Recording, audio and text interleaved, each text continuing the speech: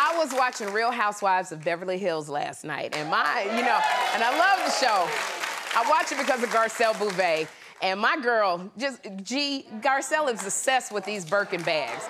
And Birkin bags, they're made by, am I saying it right? Hermes? Hermes? yeah. Okay, you can tell I don't have one. Hermes.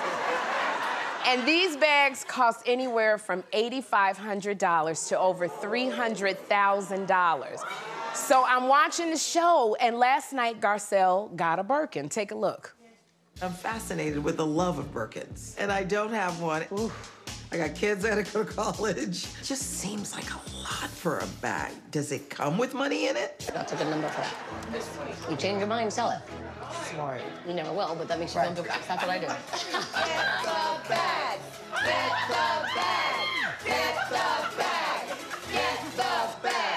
Okay.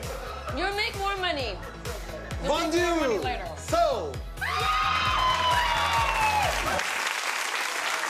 Mm-mm, girl.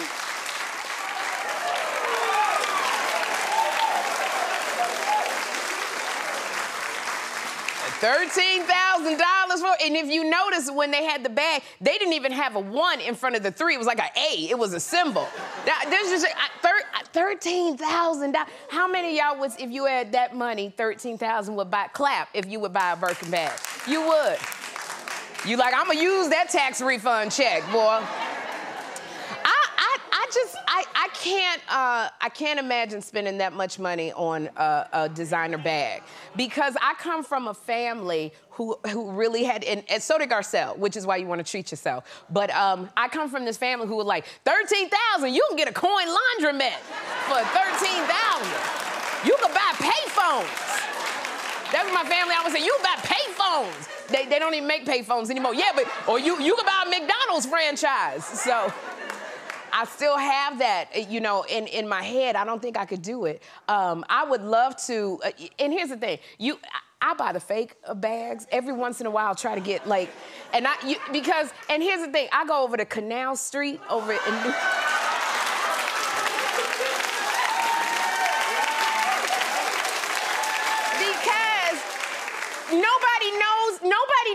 that the Birkin bag is real except people who have the real Birkin bag. They know. So I go over to Canal Street, and even on Canal Street out here, they bougie because they gotta ask you what's the password, okay?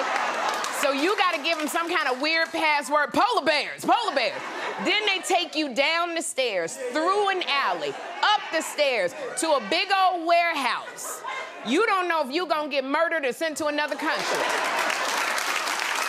When I tell you, these fake bags, they're laid out on a soft cloth, and then they just tell you, and then you go buy one. Now, it may not, it may, it's a Birkin bag. It may say Kirkin or Erkin. The B might be gone. But you get it, and then you go in there, and I go just strutting in there with my Birkin bag. Now, Kathy Hilton might know that it's not a Birkin bag, but my friend Tangi, who work at Bank of America, don't know. Shoot.